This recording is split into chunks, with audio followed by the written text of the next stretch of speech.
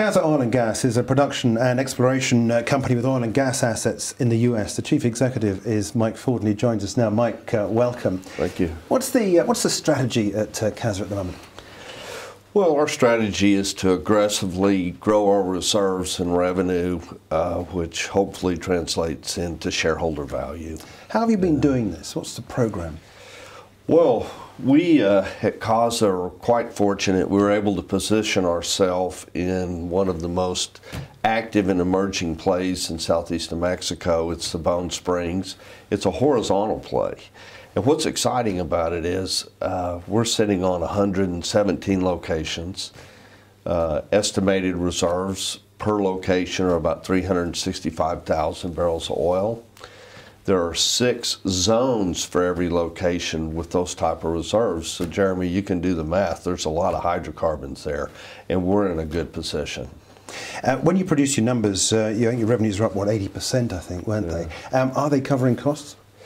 No, we're close. That's just around the corner for us.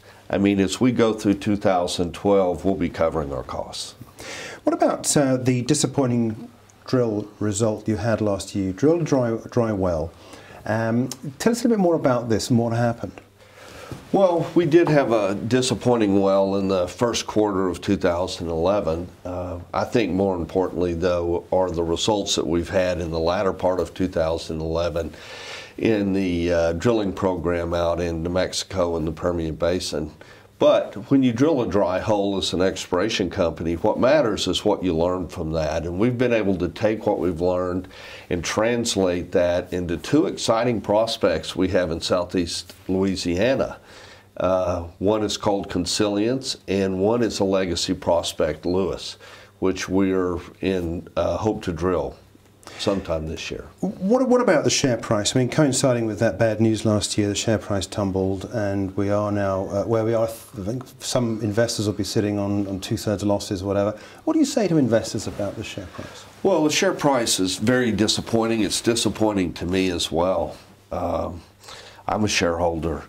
But if you really look at certain things, one thing, I can't control the market. There are things that influence the market which are beyond my control.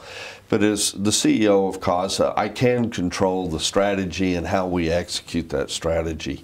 If you look at our P1 reserves or our proven reserves today, we should be trading at two times our share price. If you look at our proved and probable reserves, we could be trading five, six times our share price. When looking at those uh, share prices and the potential, you've got cash on the balance sheet. You came out with a figure, I think, what, $10.2 uh, million dollars of cash. Is right. that included in that share price expectation? Well, yes, it would be. I mean, uh, the cash is, is included, and the fact that we have no debt is included as well. What are you going to use that cash for? Well, we're going to use it to execute the drilling program that we have laid out for 2012.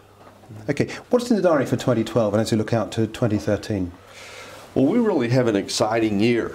I mean, we are currently sitting on 117 locations in a play that's one of the most active plays in North America. The Bone Springs horizontal play is, is a little conventional and a little unconventional. It's not a shell play like some of the plays that you hear about, but it is, it's, a, it's a play that is oil, and we all know the separation between oil and gas prices, and so Caza is going to focus on oil projects. Okay, well, look, Mike, I wish you all the very best and, and good luck for, for, for, the rest of this year. Thank you. Um, that's Mike Ford. He's uh, Chief Executive of Caza Oil and Gas.